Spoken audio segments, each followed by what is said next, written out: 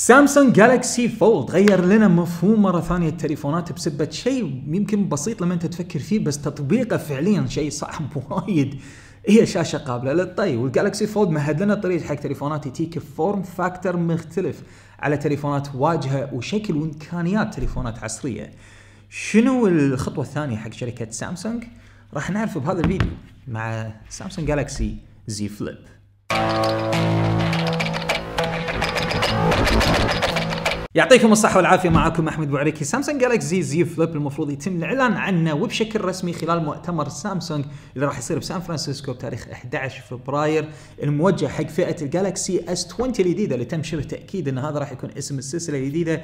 نتكلم عنها بآخر الفيديو. بس راح أركز بهذا الفيديو على Samsung Galaxy Z Flip اللي قاعد يزيد الحين التسريبات مالته عندنا على التواصل الاجتماعي وبالإنترنت. كون أنه قرب وقت المؤتمر تقريبا أسبوعين ونص ثلاثة أسابيع لين يتم الإعلان فعليا عن هذا التليفون.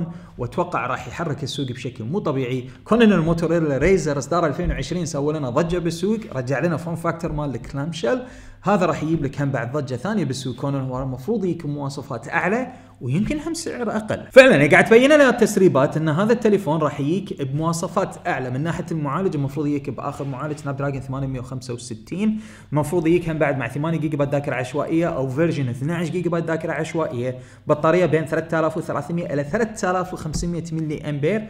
الشاشة لما تبطل التليفون راح تكون 6.7 بوصة. مع تقنية ال hole punch display اللي هو الثقب نفس اللي شفناه على تليفونات السامسونج Galaxy Note 10 وال Note 10 Plus فراح يكون كله شاشه الحواف مالته راح تكون وايد وايد أصغر من اللي شفناه مثلا على الموتورولا Razr وراح يجيك بكاميرا 10 ميجا بكسل أمامية. طبعا نوع الشاشة راح يكون Dynamic AMOLED.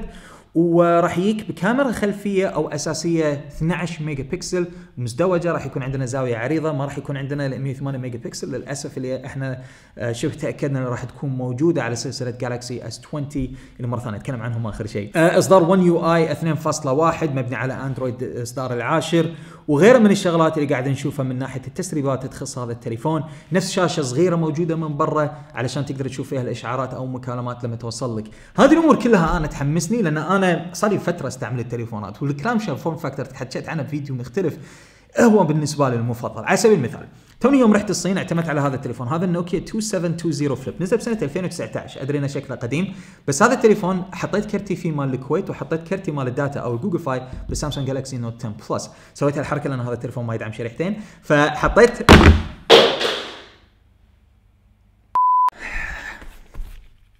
بسيطة. فحطيت كرتي بهذا التليفون وللأمانة قعدت أربعة أيام تقريبا على شحنة واحدة. ولا لما رديت البيت تقريبا الحين كان في نسبة 30 40% هذه التليفونات تجيب لي سعادة لما أستعملها. فطبيعي أتذكر النوكيا N76 هذا تليفوني المفضل كان مبني على ال Symbian بس هيك form factor مرة ثانية مال ال clamshell أه حتى الازرار مالتها وايد وايد تذكرني بالموتورولا Razr بذاك الوقت. بس ال clamshell فكرة إن أنت يكون عندك التليفون لما تبي تخزنه تحطه مخباتك حجمه صغير بس لما تيجي تبي تستعمله يكون حجمه أكبر. فهذا بحد ذاته يعطيك form factor مختلف وتجربة مختلفة. بس تليفوني المفضل بهذا ال form factor هو النوكيا 6600 Fold شوف حجم التليفون شلون وايد صغير. أصلا أقدر أمسكه كذي أنت ما تدري إن أنا ماسك تليفون من كثر ما هو صغير. وهذا التليفون راح يجيب لك شغلات شفناها الحين راح تطلع هم مثلا مع سامسونج Galaxy Z Flip قاعد تحكي عن الشاشة الخارجية. هني أنت لما تطالع كأنه ماكو شيء تسوي double tap وتطلع لك شاشة كأنها مخفية يعطيك الإشعارات والمكالمات لما حد يتصل فيك. وفي حركة هنا حلوة أتمنى أن بالمستقبل تليفونات ال clamshell لما ترجع على هيئة ال Galaxy Z Flip أو غيره انه يحطوا لك زر يكون موجود على جنب عشان لما تبي ترد على المكالمات بكل بساطه تضغط على الزر التليفون يتبطل. هذا شيء كان وايد يونسني لما أحد يدق علي يعني آه okay من هذا؟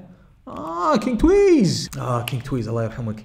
واحد من أعز أصدقائي الصراحة توفى في سنة 2013 الله يرحمك غمد روحك هنا ويجمعنا وياك من جنات النعيم. فال 6600 Fold مع N76 2720 Flip موتورولا Razr 2020 والحين السامسونج Galaxy Z Flip هذه ال form factors أنا تحمسني. من ناحية المواصفات أنا متقبل هذا الشيء آه بالذات إنه راح يجيك 256 جيجا بايت ذاكرة تخزينية كابتداء configuration 8 أو 12 RAM.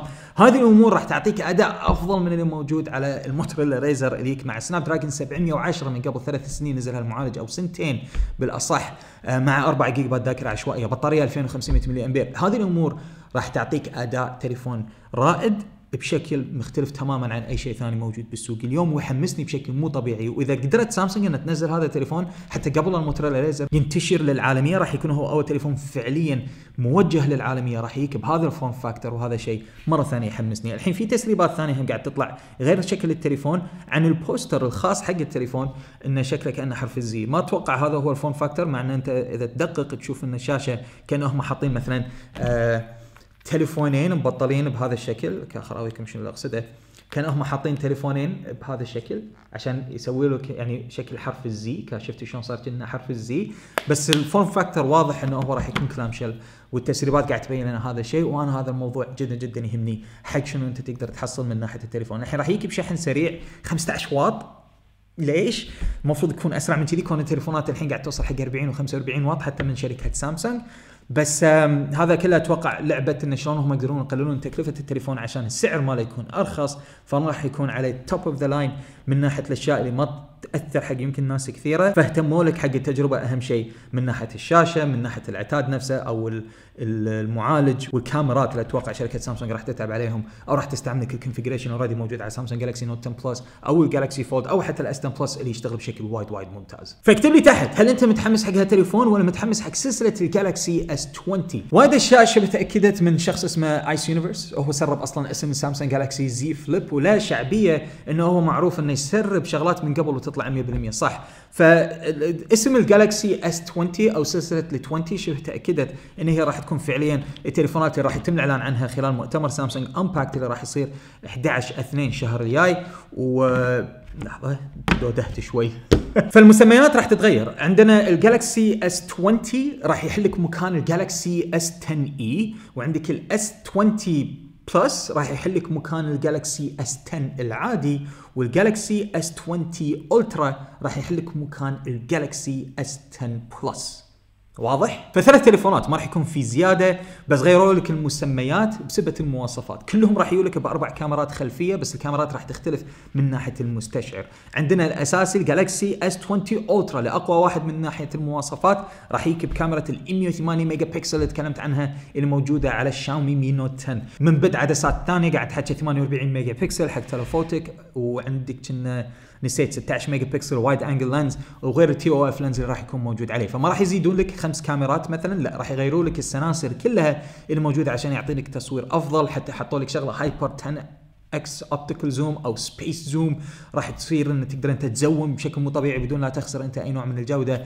على الكاميرا. وايد وايد متحمس حق هالسلسلة. للأمانة لأن سامسونج راح تغير. وأخيرا سالفة السلاسل الموجودة عندها وسياستها مع الكاميرات. كوننا الفترة اللي طافت ثلاث أربع سنين اللي طافوا وقاعد نشوف تغيير جذري من ناحية شنو أنت تقدر تسوي بالكاميرات. وحط ببالك إنه إذا ضافوا تقنيات already موجودة على تليفونات نفس ال Fold نفس ال Note نفس ال S 10 اللي بلشت مع ال S 9 سالفة إن أنت تقدر تغير ال aperture variable aperture انها تخلي العدسه تتبطل وتت تتسكر إن حق الإضاءة اللي هي تدخلها حط ببالك هذا مع sensor 108 مع معالج الذكاء الاصطناعي.